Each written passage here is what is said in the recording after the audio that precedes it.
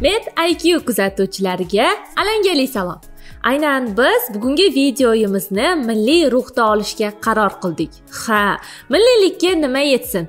Ham milliylik ham tibbiyot bo'lgan joyda rivojlanish bo'ladi. Ham milliylik ham tibbiyot birgalashib uyg'unlashsa qanday yaxshi? Ha bugun oldimdagi instrumentlardan ko'rib turganingizdek qon bosimi haqida gaplashamiz. Aynan ushbu tonometr ko'pchilikka tanish bo'lsa kerak chunki bizda aynan o'zbekiston sharoitida o'ttiz qirq yoshdan keyin barchani davleniyasi oshishi boshlaydi. Ho'p qon bosimi o'zi nima? Qon bosimi bu o'sha tomirlardagi qonni tomirlar devoriga beradigan zarbasi hisoblanadi. Aynan bizda uch xil qon tomiri mavjud. Bu demak arteriya kapillyar va vena qon tomirlar shu o'rinda aytib o'tishim kerak aynan arteriya qon tomirida kislorodga boy qon oqadi. Bu qonning rangi qizil ko'rinishda bo'ladi va vena qonda karbonat angidridga to'yingan qon oqadi. Buni rangi esa ko'pincha to'q qizil rangda bo'ladi. Ya'ni o'sha arteriya qoni har bitta organga borsa vena qon tomiri esa u yerdan qaytadi. Kapillyar qon tomirlari esa bizda hamma joyda mavjud. Aynan siz qo'lingizni biror joyga urib olsangiz yoki arzimagan jarohat yuzasidan oqadigan qon aynan kapillyar qon tomirlaridan oqadi. Aynan bizda mana shu qon tomirlariga qarab uch xil qon bosimi mavjud ya'ni arteriya qon bosimi kapillyar qon bosimi va venoz qon bosimi. Bizda eng ko'p uchraydigani esa arteriya qon bosimi hisoblanadi. Ya'ni bunda qon tomirlari kengayishi hisobiga u yerdagi qon judayam tez oqadi. Ya'ni u uzunroq bo'ladi va toraygandan keyin qonda qon siqiladi hajmi kichrayadi va shuni hisobiga judayam tez oqadi. Mana shu hisobiga esa bizda qon bosimi vujudga keladi. Qon bosimi bo'lgan paytda ko'pincha bemorlarda bosh og'rig'i kuzatiladi. Bu esa aynan o'sha bosh miyaga beriladigan bosim tufayli bo'ladi. Yana bir ajoyib faktni aytib o'tishim kerak. Aynan bizda voha tarafdagilarda judayam ko'p qon bosim uchraydi. Nimaga deyishingiz mumkin? Bilamiz qashqadaryo surxondaryo viloyatlarida eng ko'p go'sht iste'mol qiluvchilar bor. Va ular o'sha nafaqat go'shtni ya'ni e, o'sha etdagi go'shtni iste'mol qiladi va ular bilan birgalikda o'sha yog'ini ham iste'mol qiladi. E, biz ana o'sha yog'ni gazga qo'yib yuz gradusda isitib uni eritamiz. To'g'rimi? Bu e, holatni hamma biladi. Lekin aynan o'sha yog'ni yana iste'mol qilishadi. Inson organizmidagi harorat o'ttiz yetti gradusni tashkil qiladi. Xo'sh endi o'sha oshqozoningizga tushgan yog' qayerda eriydi? Shu savolga o'zingizda javob izlab ko'rishingizni maslahat bergan bo'lardim. Va aynan o'sha erimagan yog' esa bizda sekin sekin o'sha oshqozonimiz orqali qon tomirlariga singadi va qon tomirlari devoriga yopishib qoladi. Va qon tomirlari hajmi esa kichrayib boradi. Ya'ni undagi qavat ya'ni po'stloq qismi kattalashadi qon tomiri kengayadi va aynan o'sha qon oqishi judayam tezlashib ketadi. Tasavvur qiling kichik shlangdan qanaqa suv oqadi va kattaroq ya'ni hajmi kattaroq shlangdan qanday suv oqadi? Ya'ni xuddi o'shanaqa kichik shlangdan suv oqqanida judayam tez bosim ostida oqadi va buni hayotingizda ham ko'rgan bo'lishingiz mumkin. Aynan bu videomizni qashqadaryo surxondaryo ya'ni voha tarafdagilar ko'rib turgan bo'lsa iltimos sizdan kamroq yog' yeyishingizni iltimos qilgan bo'lardim. Chunki aynan yog' sizni qon bosimidan o'ldirishi ham mumkin Xo'p, asosiy mavzuyimizga qaytamiz. Qon bosimi haqida edi. Qon bosimini aytib o'tdik. Arteriya venoz va kapillyar qon bosimlari bor edi. Va bu qon bosimida insonlarda ya'ni bemorlarda judayam bosh og'riq holatlari isib ketish ya'ni qizib ketish holatlari ko'p uchraydi. Qizib ketishiga sabab esa qon judayam tez harakatlangan bir paytda undan issiqlik o'zidan issiqlik ajratib chiqaradi va issiqlik ajratib chiqarganligi uchun bizda qizib ketish holatlari ko'p uchraydi. Va aynan qon bosimni yuqori darajada ko'tarilib ketishi miyaga qon quyilishi bilan tugaydi. Va aynan miyaga qon quyilganda bizda insult holatlari ro'y beradi.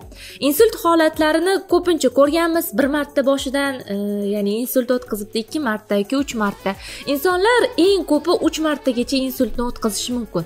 Ya'ni e, aynan ну mo'jizalar bo'lishi mumkin. To'rtinchi beshinchi oltinchi lekin ko'pincha insonlarda o'sha ikki uch marotaba o'tkazgan insonlar bu hayotdan ko'z yumadilar va bu judayam achinarli holat. Va siz aynan qon bosimingizni nazorat qilib turishingiz kerak bo'ladi. Va qon bosimi bor bemorlarga qo'y go'shti asosan iste'mol qilish tavsiya etilmaydi. Ya'ni undagi kaloriyaning ko'pligi qonimizdagi bosimni juda ham oshirib yuboradi. Ho'p qon bosimini nazorat qilish nimalar orqali amalga oshiriladi deb savol berishingiz mumkin. Ha qon bosimini nazorat qilish bizda asosan tonometr va sfigmomanometrlar bilan amalga oshiriladi. Va hozirgi kunda hattoki telefonimizni o'zida ham programmalar chiqib ketgan ya'ni qon bosimi yurak urishingizni eshitadigan va lekin bular nisbiy ko'rsatkichni aytadi. Va aynan e, aniq bir fakt asosida ishlaydigan e, bu apparatimiz bor. Bizda tonometr hisoblanadi. Buni ko'rib turgan bo'lishingiz mumkin. Ya'ni bu ikki qismdan iborat. Ya'ni manjet va o'sha nasos qismi va bu yerda o'sha bizda e, ko'rsatib turadigan datchiklarimiz. Va aynan bizda fonendoskop. Fonendoskop orqali biz o'sha qon tomiridagi bosimni eshita olamiz. Fonendoskop qismi demak dastlabkisi quloqqa. Bu esa aynan o'sha qon bosimini o'lchayotgan qismga qo'yiladi. Fonendoskopda nafaqat qon bosimi o'lchanadi balki yurak urishi o'pkada Э, o'pkadagi turli xil ovozlar ham eshitilishi mumkin. Ya'ni o'pkada balg'am bormi yo'qmi yoki o'sha e, shamollagan paytingizda sizni o'zingiz eshitasiz bu ovozni xirillagan ovoz. Aynan o'sha xirillagan ovozni kuchsiz variantlarini fonendoskop orqali eshitishingiz mumkin. Va aynan hozir qon bosimini o'lchash bo'yicha kichik tajriba o'tkazmoqchimiz va bu sizga ham juda ham foydali bo'ladi. Aynan siz mana shu videodan keyin balki qon bosimini o'lchashni ham o'rganib olarsiz. Ho'p e, yana bir narsa aytib o'tishim kerak. Qon bosimi oddiy sog'lom insonlarda yetmishga yuz bir yuz yigirmaga sakson millimetr simob ustunida bo'lishi mumkin. Aynan bir yuz o'ttizga to'qson bir yuz qirqqa yuz kabi holatlar bu qon bosimini oshishidan dalolat beradi. Va har bitta insonni o'zida ham o'zi moslashgan qon bosimi bo'ladi e, buni ham aytish o'tishimiz kerak. Ya'ni ular o'sha qon bosimi sekin sekin ko'tarilib ketganligi uchun ko'pincha ba'zilarda bir yuz qirqqa yuz manda norma mana shunaqa deb aytishadi. Ha bu norma bo'lib qolgan xolos. Lekin aslida unday emas. Ya'ni ularda e, давление ko'tarilib ketganligi uchun aynan bir yuz qirqqa yuz ularda norma holat bo'lib qolgan. Ho'p endi tajribamizga kelamiz. Aynan e, sizlarda hozir qon bosimini o'lchashni o'rgatamiz. Ho'p tajribamizni boshladik va aynan bu narsani ko'pchilik o'rgatmasa kerak lekin aynan siz menga rahmat aytishingiz mumkin sizlarga o'rgatayotganim uchun. Ho'p manzil qismini olamiz. Uni o'sha qo'lga kiygizdiraman aynan mana shu ikkita shlang bor qismini qon tomir oldiga qo'yishimiz mumkin. Ho'p manjet qismini taqib bo'lganimizdan keyin aynan fonendoskopni biz qulog'imizga kiyib olamiz va fonendoskop qismini ya'ni mana bu eshituvchi qismini o'sha tomir ustiga qo'yamiz tomir ustiga qo'yganimizdan keyin bizda baloncha bor. Havo berish uchun. Havo berish uchun balonchada mana bu qismini yaxshilab yopib olishimiz kerak. Ya'ni buni yopib olamiz. Oxirigacha yopilgandan keyin unga havo berishni boshlaymiz. Havo berishni bilsangiz kerak aynan shu holatda. Ho'p va bu yerda qarab turamiz. Bizni datchiklarimizga ko'rsatib turuvchi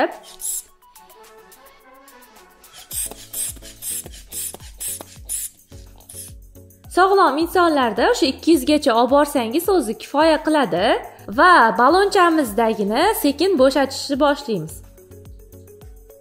Boshlaganimizda aynan o'sha datchiklarimiz harakatlanishni boshlaydi va eshitamiz.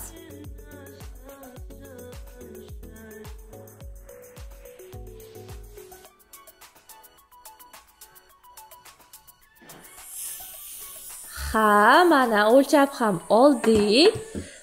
Ya'ni o'sha rahmat sizga qo'l. Va aynan mana bu datchiklarimizda ko'rsatadi o'zi strelkamiz bor. O'sha strelkamizni ikki yuzgacha o'sha ballon qismidan ishirib olib borganimizda ikki yuzgacha olib boramiz. Va 200 dan keyin sekin qo'yib yuborishni boshlasak u pastga qarab ya'ni pastga qarab sekin tushishni boshlaydi va aynan o'sha birinchi urgan duk degan ovozni eshitasiz va eslab qolasiz.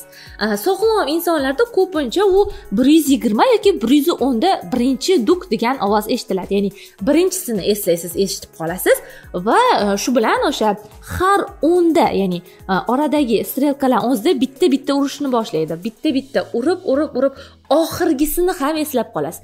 Aynan o'sha boshi va oxirgi qismi ya'ni o'sha oxirgi ko'rsatgan sonlar bizda e, aynan qon bosimimiz nechiligini isbotlab beradi. Va ko'pincha elektronlardan foydalanishadi. E, aynan o'zimdan o'tkazgan tajriba ko'pincha elektron emas mexanikadan ya'ni mana shu tonometrdan foydalanaman. Va bu tonometr ko'proq sizga aniq e, bir sonlarni ko'rsatib beradi.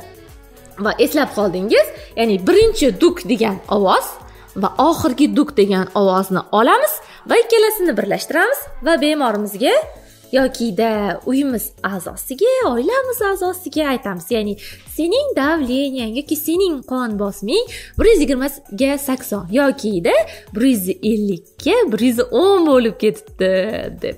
Yokida umuman urmasligi ham mumkin. Aynan umuman urmaslik holatlari bu nima deydi? Yoki u jonsiz bo'lishi kerak yokida aniq uni yuragi urmayapti. Balki sevib qolgan bo'lishi ham mumkin. Ho'p hozir biz o'lchagan insonning qon bosimlari bizda bir yuz yigirmaga saksonda urdi va bu normal holat ya'ni u sog'lom. Unda qon bosimi holati kuzatilgani yo'q. Va hozir siz ana o'sha qon bosimini qanday o'lchash haqida bu videoni qayta qayta ko'rishingiz agar o'xshamayotgan bo'lsa kommentariyaga yozib qoldirishingiz mumkin va siz uchun balki instagram orqali yana boshqa ovqatdan video tayyorlarmiz. Va aynan kommentariyada sizning e, o'lchagan insonning qon bosimi nechi chiqdi? Mana shuni yozib qoldirsangiz xursand bo'lgan bo'lar edik. Va aynan biz sizga mana shu narsani o'rgatganimizdan minnatdor bo'lamiz. Agarda o'rgangan bo'lsangiz sizlar bilan iqda yana diyora toshpo'latova bo'ldi. Ha yana bir narsani aytib o'tmoqchiman. Iq loyihasi sizning tibbiy savodxonligingizni oshirish uchun suratga olinyapti. Sizlar bilan iqda yana diyora toshpo'latova bo'ldi. Keyingi sonimizda ko'rishguncha xayr!